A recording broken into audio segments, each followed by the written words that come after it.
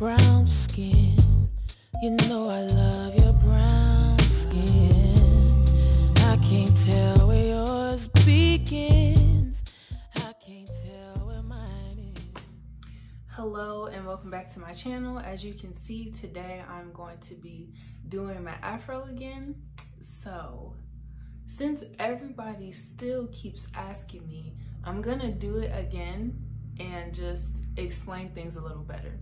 So I got a new wig so that y'all can see what this wig is looking like. Like it's fresh. I haven't, I put it on, I tried it on like once or twice. I haven't done anything to this. I did no cutting, um, no combing, no nothing. This is what this wig looks like. It is very much ugly.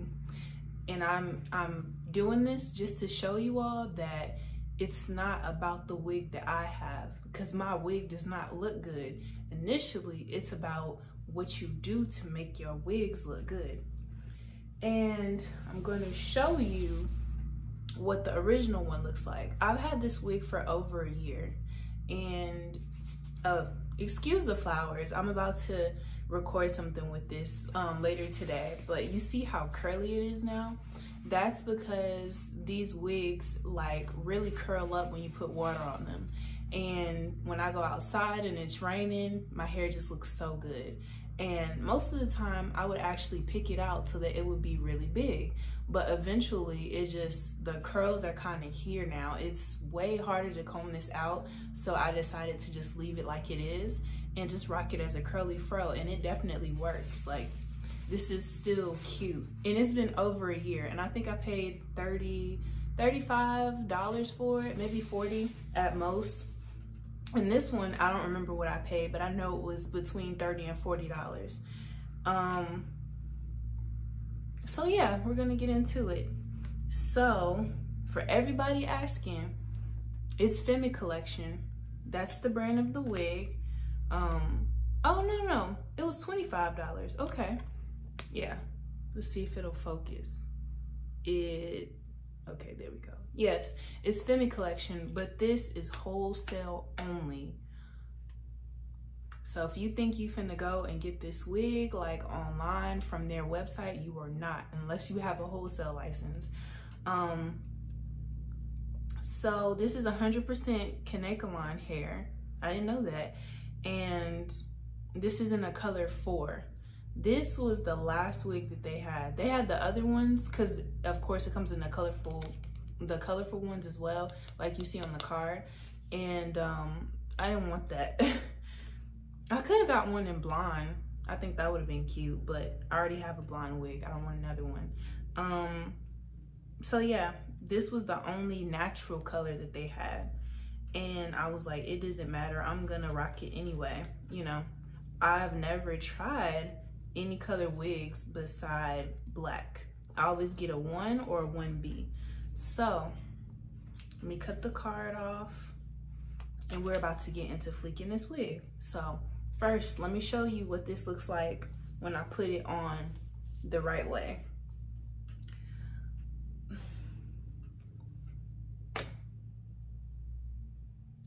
You can wear your wigs like this if you want to, but I don't think this looks good. It's just most of the weight is in the front and I don't like that. It looks, yeah, no.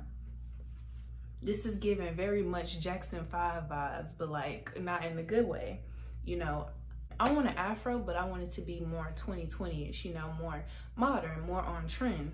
So I flip it. As you can see, this is supposed to be the back piece right here. And in the front, it kind of makes you look like you have a little bang. So instantly, the wig already looks better and I haven't even done anything to it. This brown is kind of cute, actually. So the first thing I'm gonna do, since I just got this wig, it has that new wig smell. Y'all know what I'm talking about. So I'm gonna take, is it gonna focus? My bright light is so bright. Okay, so I'm gonna take my rose spray and I got this from Whole Foods. You can get it right from Amazon or they sell rose spray in the hair store because it really helps with that smell. So and now I'm going to just spray some,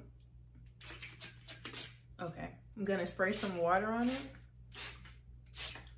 Not too much, just enough to like give it some mist because I also wanted to have a little bit of shine. Like I want this to look like my hair.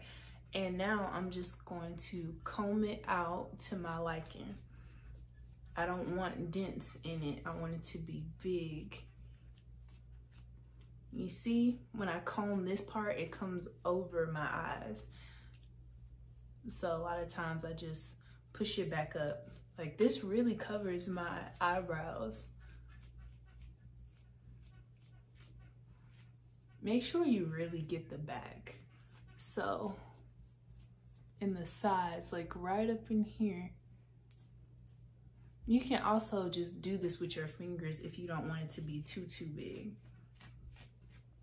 Yes, really pay attention to the back because you don't want it to look like you have dents in your in your afro. Oh, I'm sorry, my bed is squeaking. Okay. This is what you get when you put your own bed together. Do y'all see the difference? How much, like, how much of a difference just a little bit of combing made? This side versus this side. So I take the back and I go down. And when I'm doing the rest of it in the middle, I pull it up. So when you're doing an afro, even if you do this on your real hair, you wanna go up and out, up and out, up and out. See, up and out. I'm not pulling it all the way through. Don't do that. I mean, you can if you want to. It'll make it really big, but this wig sheds a lot. That one, the black one that I have, this one has shedded a lot. But it's not that big of a deal because it's very um, dense. it's a lot of hair. So,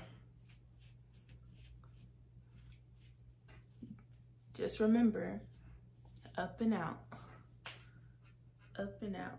Ooh, I like this brown. Yes, I'm definitely gonna do some pictures with this and some concepts like brown and foxy. That's me. Yes, you see? You see how I just flicked this wig?